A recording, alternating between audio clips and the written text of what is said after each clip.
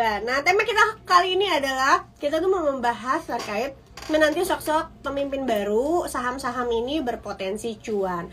By the way, sebelum kita masuk ke tema pembicaraan kita hari ini, aku mau sapa-sapa dulu sobat cuan nih. Halo, halo sobat cuan, gimana portofolionya? Semoga cuan ya, karena dua hari ini ternyata IHSG itu menghijau. Kemarin itu di hari Kamis, tepat setelah kita melakukan pencoblosan, itu IHSG gap up dan naik sekitar 1,3 persen. Saham-saham beberapa saham banyak yang gap up kayak SMGR, MBMA, terus juga saham-saham perbankan gitu ya. Bahkan kemarin itu IHSG itu net buy asingnya itu net 2,3 triliun di mana asing itu melakukan pembelian di saham-saham blue chips yang ada di Indonesia. Nah, hari ini IHSG masih positif yaitu ditutup menguat 0,44%. Ada beberapa saham yang sudah terjadi aksi taking profit seperti SMGR, terus juga oh sorry JSMR, MBMA tadi yang aku lihat hari ini koreksi tapi ada saham-saham yang tetap mengalami kenaikan seperti misalnya saham-saham perbankan, terus juga ada Telkom yang hari ini uh, naik ke 4150 di mana 4150 ini adalah area resistance kuat dari Telkom itu sendiri dan juga saham-saham lainnya ya tentunya. Nah, Sobat Cuan kalau misalnya Sobat Cuan mau ada pertanyaan terkait saham atau juga instrumen investasi lain, boleh banget nanya langsung bisa tulis di kolom question box yang ada di sebelah kanan ya biar pertanyaan teman-teman gak ketutupan sama teman-teman yang keluar masuk. Nah, kita tuh mau bahas terkait hasil quick count gitu ya hasil quick count eh, sekarang angkanya udah 98% yang di mana dari hasil quick count ini paslon nomor 02 itu itu menang gitu ya uh, hasilnya gitu. Nah ketika ini uh, diumumkan pada hari Rabu besoknya itu IHSG kita langsung diapresiasi secara positif atau secara baik dengan kenaikan dari harga-harga saham dan juga pembelian dari asing itu sendiri.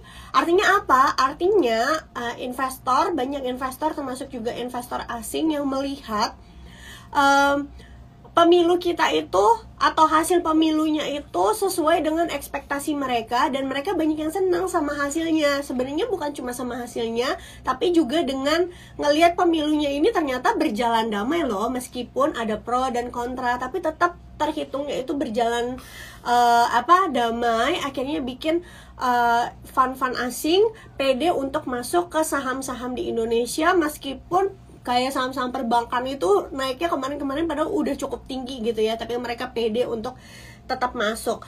Nah kalau misalkan kita ngomongin tentang kemenangan paslon 02 ini secara quick count ya karena nanti uh, tetap finalnya kita harus nunggu dari KPU seperti apa gitu ya. Kita tentu tidak terlepas dari program-program yang mungkin saja bisa menguntungkan beberapa sektor atau juga saham yang ada di market yang paling menarik dari tujuh program yang sering disampaikan oleh paslon nomor 02 setidaknya ada nol ada tiga uh, program yang menurutku menarik dan berhubungan sama eh, saham-saham uh, yang ada di market kita. Yang pertama udah pasti susu gratis. Ini yang udah jadi isu dari sejak debat capres ya. Kayaknya Sobat Cuan juga udah mulai banyak gitu ya Dari sejak debat capres ngincar-ngincar saham-saham susu. Nah kalau ngomongin susu gratis Memang yang dibagi di Indonesia sedihnya adalah susu UHT Padahal UHT itu banyak ininya ya Banyak gulanya. Harusnya sih susu murni. Tapi ya uh, setidaknya kita masih bisa senang kalau misalnya mungkin kita punya saham-saham dari susu itu sendiri. Nah kalau di Indonesia sebenarnya ada beberapa emiten yang mereka tuh memang bisnisnya itu jualan susu. Yang pertama itu ada Ultra Jaya, yang kedua itu ada Cimori, yang ketiga juga sebenarnya ICBP, uh, eh, ICBP ya atau Indofood CBP. Indofood CBP itu cuma kan dia jualan Indomilk. Tapi memang kontribusi terbesar dari pendapatannya itu lebih ke jualan Indominya. Tapi tetap juga ada susunya di dalam situ gitu. Yang kedua ada Cimori lalu juga ada Ultra Jaya nah kalau misalkan kita bandingin dari ketiga emiten ini dari secara uh, total revenue memang yang paling banyak menjual susu itu Cimori dan juga Ultra Jaya tapi secara valuasi uh, Cimori itu dihargai di price earning ratio yang lebih mahal dibanding Ultra Jaya itu sendiri. Keduanya sama-sama punya kinerja yang bagus. Gross profit margin bahkan net profit margin dari Cimori itu lebih tinggi daripada Ultra Jaya. Gross profit marginnya itu sekitar 49 persenan ya sobat cuan. Jadi kalau gross profit margin 49 persen itu artinya apa sih, Olive? Gross profit margin 49% itu artinya adalah setiap susu Cimori yang dijual, perusahaan itu mendapatkan laba kotor sebesar 49%. Jadi contoh, misalnya susunya Cimori itu uh, harganya 2000 rupiah, contoh ya. Nah, laba uh, gross profit marginnya misalnya 49% Artinya laba kotor yang dihasilkan perusahaan itu sekitar 1000 rupiah Nah dari 1000 rupiah ini baru nanti dikurangin sama biaya-biaya lainnya seperti beban operasional dan lain-lain gitu ya. Nah, kalau Ultra Jaya itu gross profit marginnya itu penyontek data ya. Itu nggak sampai 40%, kalau nggak salah itu di angka 32 persenan. Nah ini sama juga cara uh, ngitung rumusnya kayak tadi. Jadi 32 persen dari pendapatannya si Ultra Jaya itu jadi laba kotornya Ultra Jaya. Nah ini ada Argas baru masuk. Ini yang lagi dibahas saham susu-susuan Ultra Jaya sama Cimori. Nah, kalau dilihat kedua emiten ini punya debt to equity ratio yang rendah juga di bawah 20% gitu. Jadi hutangnya tuh kecil banget gitu. Hutangnya kecil terus punya cash uh, cash ratio tuh yang bagus. Nah, karena kualitinya sama-sama bagus, kita tinggal lihat nih kira-kira uh, valuasinya mana yang lebih murah. Nah, kalau misalnya dibandingin atau berdasarkan rata-rata uh, eh, PE industri Ultra Jaya itu lebih murah secara price earning ratio dibanding Cimori seperti itu. Nah itu satu program yang menurutku bisa menguntungkan se sebuah industri. Yang kedua kalau sobat cuan tahu uh, Pak Prabowo juga sempat menggaungkan ingin membangun uh, rumah sakit yang lengkap di tingkat kabupaten gitu ya. Nah, rumah sakit yang lengkap di tingkat kabupaten ini karena kalau sobat cuan tahu ya memang di Indonesia itu kekurangan bed sebenarnya. Kekurangan bed itu maksudnya uh, kasur yang ada di rumah sakit dan juga kekurangan tenaga kesehatan. Nah, makanya salah satu programnya itu adalah membuat rumah sakit yang lengkap di tingkat kabupaten. Nah, ini tentu masih belum tahu ya kira-kira nanti programnya dijalankan seperti apa. Apakah menggandeng rumah sakit daerah gitu ya untuk pembangunan atau menggandeng swasta. Se sebenarnya kalau mau lebih cepat proyek program ini berjalan harusnya gandeng swasta karena kita tahu sendiri kalau misalnya uh, yang disuruh bangun itu kayak RU, eh, RSUD itu pasti kan butuh izin yang lebih panjang birokrasinya dan lain-lain gitu dibanding kalau misalnya pemerintah ngajak kerjasama uh, rumah sakit swasta untuk bangun rumah sakit yang lengkap di tingkat kabupaten. Nah kalau misalnya nanti ternyata ngejalaninnya itu adalah ngegandeng swasta, tentu perusahaan-perusahaan uh, rumah sakit yang TBK ini diuntungkan. Nah, tapi kan rumah sakit yang TBK itu di IHSG ada berbagai macam ya, ada Silo, Siloam, ada Mitra Keluarga, Mika, ada Hill gitu ya, Hermina. Kira-kira mana nih yang yang bisa kita pantau gitu ya atau kita masukin watchlist sambil kita mengikuti perkembangan dari project ini karena kalau sekarang ngomongnya itu masih terlalu dini banget gitu ya. Ngomongin ini kan baru sekedar kemarin debat capres mereka ngajuin program. Tapi nanti dengan seiring berjalannya waktu baru kelihatan lebih jelas apakah programnya ini beneran dijalankan atau tidak. Nah, di antara ketiga emiten ini, Hill itu lebih diunggulkan kalau misalnya um, rumah sakit-rumah sakit tingkat kabupaten ini pemerintah menggandeng uh, perusahaan rumah sakit swasta. Kenapa? Karena kalau sobat cuan tahu ya, Hill atau Hermina itu mereka itu sebaran rumah sakitnya sudah lebih banyak di daerah-daerah itu yang pertama. Dan yang kedua, pendapatan dari Hermina atau Hill ini itu 71 persennya itu disumbang oleh pendapatan dari pasien-pasien BPJS.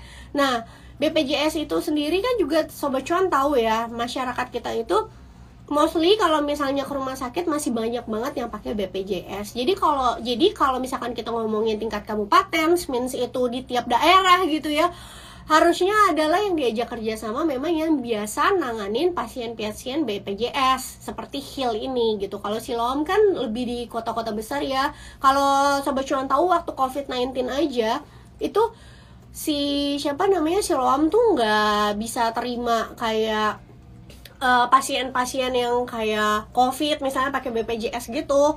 Jadi Heal memang lebih diuntungkan kalau misalnya programnya ini program untuk masyarakat di tingkat daerah. Oke, nah selanjutnya ada program juga kalau misalnya Sobat Cuan sempat perhatiin, Pak Prabowo juga sempat bilang uh, pengen bangun 3 juta rumah untuk mereka yang punya rumah belum punya rumah. Sebenarnya program ini tuh bukan program yang baru karena ini tuh udah pernah dibuat juga sama Pak Soeharto tahun 1970-an saat itu ya. Di mana Pak Soeharto membangun banyak rumah untuk masyarakatnya supaya bisa punya rumah. Nah kalau di eranya Pak Jokowi juga ada kan sebenarnya pembangunan satu juta rumah walaupun belum terlaksana uh, eh, 100% gitu. Nah, kalau ngomongin 3 juta rumah untuk mereka yang belum punya rumah, ya biasanya kan dibangunnya sama BUMN sendiri ya. Cuma mungkin yang Sobat Cuan bisa pantau adalah saham yang mendukung dari program ini. Saham apa? Perusahaan perbankan yang mendukung KPR uh, rumah subsidi yaitu adalah BBTN. But untuk BBTN saat ini tuh sekarang lagi ada di area resistance ya sobat cuan. Jadi walaupun menarik secara program dan juga diuntungkan nanti ketika suku bunga turun, secara price actionnya kita le lebih baik wait and see dulu untuk BBTN. Mungkin kalau sobat cuan mau lihat BBTN, area-area menariknya itu di kisaran 1250 kalau bisa dapat di bawah 1250 lebih baik. Tapi kalau misalnya nggak bisa dapat mungkin sobat cuan bisa cicil di daerah 1250 gitu. Nah itu tadi kira-kira ada beberapa program yang menurutku uh, menarik. Oh ya ada satu lagi nih. Kalau Pak Prabowo sama Mas Gibran bilang itu kan pengen naikin gaji ASN ya dan nggak main-main naikin itu sekitar 8 persenan. Yang diutamakan itu guru gitu ya. Nah kenaikan S, uh, apa gaji ASN ini diharapkan bisa uh, meningkatkan purchasing power yang memang di Indonesia itu untuk beberapa waktu belakangan ini daya belinya tuh menurun terutama untuk kelas menengah bawah karena inflasinya makin naik. Jadi bikin harga uh, bahan pokok atau apa namanya harga bahan-bahan yang penting itu jadi ikutan naik. Akhirnya banyak orang yang nggak punya duit lebih untuk uh, uh, untuk barang-barang yang sifatnya tersier gitu karena uangnya udah keburu habis buat bayar listrik, buat bayar angkot, buat bayar makan yang mengalami kenaikan. Nah diharapkan kalau misalnya gajinya ASN ini beneran naik, purchasing powernya bisa naik ya dan tentu yang diuntungkan adalah saham-saham consumer. Nah saham consumer yang mana? Mau nggak mau, uh, suka nggak suka, memang di Indonesia rokok itu masih banyak peminatnya ya walaupun sebenarnya nggak sehat. Dan rata-rata orang-orang yang perokok ini kalau punya duit dikit uangnya itu dihabisin ya buat beli rokok gitu. Lebih baik nggak makan daripada nggak ngerokok. Jadi teman-teman bisa pantau saham-saham um, rokok. Cuma gini kalau rokok itu resikonya adalah kalau misalnya naik cukai lagi itu yang jadi musuh dari emiten rokok terutama gudang garam dan juga HMSP ya. Kalau Wismilak nggak gitu terpengaruh karena harga rokoknya juga murah gitu ya beda golongan sama HMSP sama GGRM tapi selama uh, cukainya nggak naik harusnya uh, rokok-rokokan bisa bagus gitu. Nah uh, apa namanya ini ada yang menarik ya. Kalau misalnya sobat cuan tahu kan kalau Pak Prabowo sekarang menang periode kedua sobat cuan itu kan banyak yang bilang katanya Pak Prabowo itu hubungannya kurang baik kan sama Bu Sri Mulyani. Nah, kita tahu banget kenaikan cukai yang masif itu itu di eranya Bu Sri Mulyani jadi Menteri Keuangan. Nah sekarang tuh udah banyak yang ngomong wah jangan-jangan kalau misalnya Pak Prabowo ini jadi presiden, Menteri Keuangannya udah bukan Sri Mulyani lagi, jadi cukainya nggak naik lagi. Tentu kalau cukainya nggak naik lagi, ini kan jadi sentimen positif ya untuk saham-saham rokok yang mana kita tahu berarti ini bottoming dari penurunan growth uh, dari kinerja sebuah perusahaan karena rokok itu sobat cuan sebelum dulu naik cukai di tahun 2020 marginnya itu tebel banget gitu. Tapi ketika naik cukai bayangin pita cukainya aja itu udah uh, ngambil 70% dari beban pokok penjualan. Makanya ketika marginnya itu turun dibanding sebelum tahun 2020 harga sahamnya juga turun lebih banyak gitu nah ini kata harga saya rokok apa nih kak? Soalnya mahal. Karena HMSP nggak mahal. Terus uh, rokok-rokok juga rutin bagi dividen ya. Jadi sebenarnya sambil kalian nunggu dividennya juga cukup lumayan. Kalau nggak salah bisa lima persenan. Nah, selain rokok-rokokan tentunya ada konsumer yang lain. Dan menurutku nggak cuma konsumer aja. Kalau kita ngomongin konsum konsumsi ya untuk sekarang itu di era digital, konsumsi itu nggak melulu tentang makanan, pakaian, obat-obatan uh, sobat cuan. Menurutku paket data itu aja termasuk sama konsumsi. Karena itu kan udah jadi kewajiban ya. Ibaratnya orang sekarang mendingan nggak bawa dompet daripada ketinggalan handphone gitu ya daripada nggak ada internet. Nah ini juga teman-teman harus pertimbangin. Apalagi uh, Mas Gibran juga pengen membangun ekosistem uh, ekosistem digital ya. Jadi uh, emitan-emitan telco seperti misalnya provider dan juga tower-toweran uh, boleh sobat cuan perhatikan. Cuma kalau telco telco tuh maksudnya yang develop eh bukan developer, provider yang kayak um, Telkom, ISAT, Telkom itu udah deket-deket resisten, jadi wait and see dulu. ISAT juga naiknya juga udah cukup tinggi, mungkin yang masih bisa ada potensi kenaikan itu um, Excel tapi harus batasin stop loss. Di kalau misalnya harga turun ke bawah 2210 lebih baik cut loss dulu gitu. Tapi untuk tower-toweran banyak yang harganya tuh udah pada turun banyak ya atau under value gitu. Kayak misalnya TWR, terus juga Tebik, terus ada MTEL yang sekarang juga lagi disupport gitu. Cari aja yang kira-kira dividennya tuh cukup menarik 3% ke atas gitu. Contohnya misalnya kayak MTEL gitu terus kayak apa data apa uh, apa sih yang kayak edge gitu-gitu apa uh, data center data center. Tapi sebenarnya kalau data center nggak mesti nggak mesti emiten yang kayak edge gitu ya. Kayak Telkom sendiri juga kan udah ada data centernya gitu. Oke. okay. Nah, itu tadi update dari aku sesuai dengan tema kita. Coba sekarang aku mau jawabin pertanyaan-pertanyaan kalian. Nah, ini ada anak ASI ITMG kak ada kemungkinan turun nggak katanya? Kalau ITMG sih aku melihatnya saham-saham kok, hmm, benar ya, nggak ada sinyal. Kalau saham call sih aku melihatnya terutama untuk uh, saham-saham call yang bagi dividennya itu besar-besar ya. Harusnya um, masih akan melanjutkan penguatan sampai nanti mendekat uh, waktunya kamdet gitu ya. Kamdet itu ketika perusahaan sudah melakukan RUPS mereka nentuin kira-kira mau bagi dividen berapa.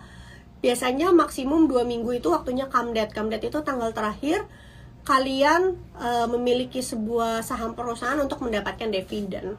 Tapi seperti yang sering aku sampaikan, untuk perusahaan call ini, kalau misalnya sobat cuan mau masuk, lebih untuk trading jangka menengah, di mana memanfaatkan momentum pengumuman dividen. Jadi artinya kita tidak incar uh, dividennya karena akan kecenderungan dividen trap ketika X date ya. Tapi kita uh, trading di potensi uh, kenaikan harga saham atau mengincar capital gainnya kalau misalnya harga sahamnya itu diapresiasi market sampai nanti perusahaan membagikan dividen gitu.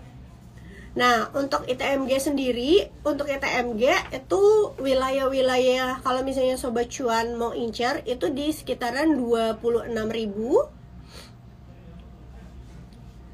uh, sam 26.000 sampai 26.500. Kalau misalnya turun ke bawah 26.000 sebaiknya um, stop loss ya. Tapi kalau ngelihat kayak gini price actionnya harusnya sih masih bisa ke atas ya gitu. Cuma mungkin area-area terbaiknya di sekitaran 26.000 sampai 26.500. Oke. Okay? nah, ini tadi dari backpack trader. Jadi kalau secara histori memang kecenderungannya industri properti itu menjelang pemilu banyak yang wait and see, baik dari uh, investor di market dan juga investor yang beli propertinya gitu ya. Tapi sekarang pemilu udah lewat kan, jadi harusnya udah nggak ada wait and see lagi gitu. Nah kalau ngomongin properti sebenarnya katalis utamanya itu adalah suku bunga sobat cuan. Sebenarnya ada dua sih. Kat, uh, suku bunga sama komoditi boom. Nah komoditi boomnya ini kan udah lewat ya sobat cuan, makanya kita sebenarnya nggak bisa ngarepin saham properti itu sampai berbeger-beger. Kecuali pani, kalau pani itu beda cerita ya sobat cuan. Pani itu nggak ikutin story dari suku bunga ini karena dia itu ada uh, corporate action, makanya harga sahamnya itu bisa berbeda sendiri pergerakannya, gitu. Tapi kalau kita ngomongin properti secara keseluruhan, itu sentimennya dua komoditi boom dan juga penurunan suku bunga. Nah kalau penurunan suku bunganya jadi turun tahun ini, kalau misalnya bisa lebih dari tiga kali tentunya bagus karena kecenderungannya masyarakat Indonesia itu beli rumah itu banyak kan masih melakukan KPR. Kalau suku bunganya tinggi, mereka biasanya nggak mau ngambil KPR gitu karena bayangin aja fix rate-nya aja udah bisa berapa gitu kan. Nah, untuk BBTN-nya tadi udah sempat aku sampaikan di awal kalau misalnya segala sesuatu tentang KPR KPRan ada bank lain memang yang um, nyediain kredit kepemilikan rumah juga. Tapi kalau misalnya yakin sama program tadi rumah 3 jutanya BBTN yang lebih diuntungkan. Karena memang KPR-nya itu untuk rumah-rumah subsidi. Gitu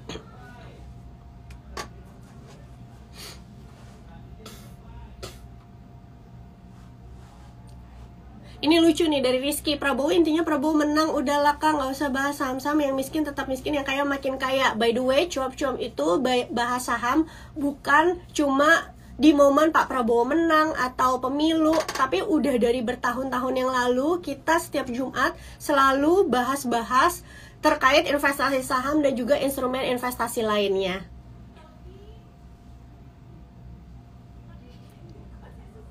Oh nih, ada Serok NFT. Kemarin pas pemilu BTC malah naik, nggak sempet beli karena jadi anggota KPPS. Ya ampun, kasihan banget.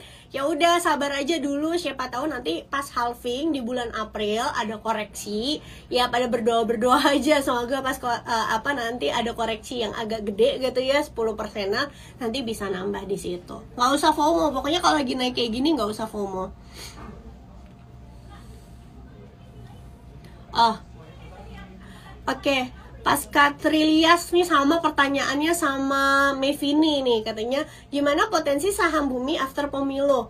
Nah memang menariknya kemarin itu ketika um, market dibuka itu uh, yang naik itu bukan cuma uh, saham-saham blue chip tapi saham-saham yang related sama paslon nomor 2 jadi related sama paslon nomor 2 itu adalah mereka-mereka konglomerat yang ada di belakangnya gitu ya yang mendukung. Contohnya tuh uh, apa namanya contohnya tuh kayak uh, eh, MBMA gitu ya. Karena seperti yang kita tahu Pak Boy Tohir itu kan pendukung 02 ya. Karena Pak Erick Thohirnya juga pendukung paslon 02 waktu pas IHSG-nya dibuka MBMA itu naik sempat 9 persenan kalau nggak salah. Meskipun ditutupnya waktu itu positif 7 persenan.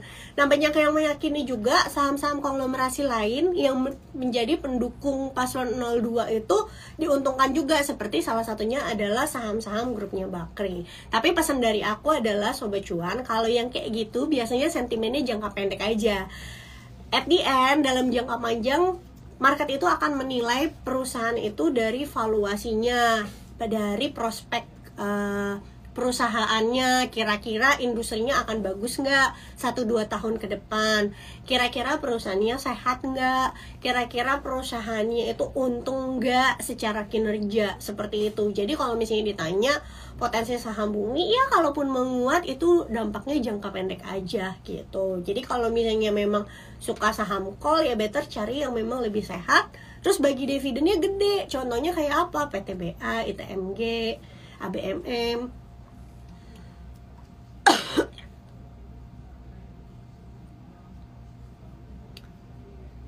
Kak, kok suaranya berubah ya? Iya, aku emang lagi agak batuk. Kak, ITMG di hold 2 tahunan untuk ambil dividen, oke okay kan ya kak? Hmm, kalau menurut aku kurang sih, karena jadi kalau saham batu bara, komoditas itu kan uh, tergantung harga acuan ya, sahabat acuan. Jadi kalau misalnya kamu, kalau misalnya mau hold 2 tahun, kamu harus dua tahun dari sekarang ya maksudnya kamu harus punya keyakinan um, 1 sampai dua tahun ke depan itu harga call nggak lebih rendah dari harga saat ini. Harga acuan ya. Kan sekarang itu kan coba aku nyontek. Call bar chart nih aku sekarang harga call berapa sih? Sobat cuan tahu nggak? Ini aku lagi lihat data. Oh, sekarang di 120 dolar kan? Uh, harga acuan call itu. Nah, kalau kamu mau hold 2 tahun, itu kamu harus punya keyakinan harga call acuannya enggak lebih rendah dari 120 dolar.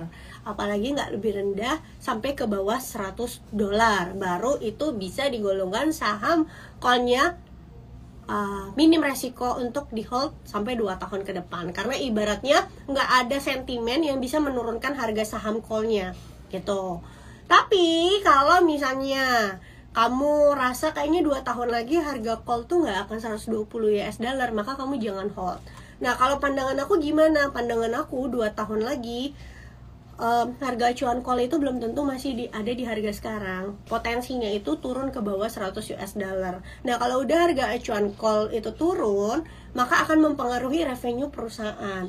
Kalau revenue dan laba perusahaan turun, maka akan mempengaruhi valuasi perusahaan. Akhirnya mempengaruhi harga sahamnya yang berpotensi koreksi uh, lebih lanjut seperti itu. Oke, ada lagi pertanyaannya? kalau nggak ada ini udah sisa satu menit lagi kalau nggak ada kita tutup aja